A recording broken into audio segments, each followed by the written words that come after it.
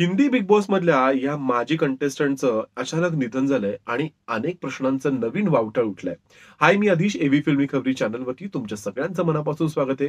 Usually entertainment world मधल्या ज्या चांगल्या चांगल्या गोष्टी असतात त्या मी तुमच्यापर्यंत पोहोचवत असतो आणि अनफॉर्च्युनेटली आज एका मृत्यूची अपडेट मला तुम्हाला द्यायला लागते. पण झालंय काय माहितीये का? ह्या व्यक्तीच्या मृत्यूमुळे ना अनेक प्रश्न निर्माण झालेत आणि जर ह्याच्यामध्ये काही घातपात असेल तर ह्या व्यक्तीला नक्की न्याय मिळायला हवा असं मला मनापासून वाटतं.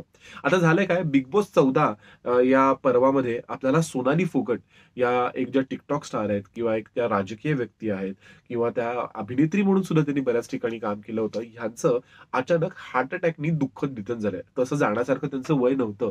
काहीतरी चाळीस ते पन्नासच्या दरम्यान बहुतेक त्यांचं वय असेल. मला त्यांचं वय आता शॉर्ट माहीत नाहीये. आणि त्यांना एक मुलगी आहे.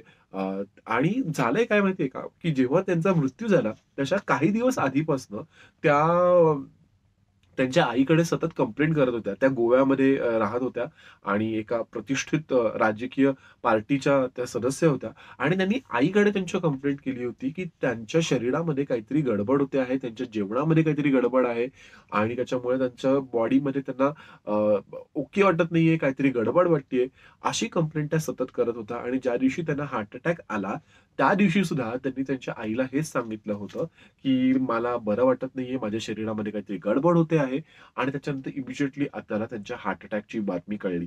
येस सोनाली फोगट ज्या याआधी आपल्याला एक टेलिव्हिजन ऍक्ट्रेस म्हणून टिकटॉक स्टार म्हणून एका राजकीय नेत्या म्हणून आणि सगळ्यात महत्वाचं म्हणजे बिग बॉस मधल्या एक पॉप्युलर फेमस फेस म्हणून आपल्याला माहिती होत्या आणि त्यांच्या दुःखद निधनामुळे सध्या सगळ्यांनाच धक्का बसलाय.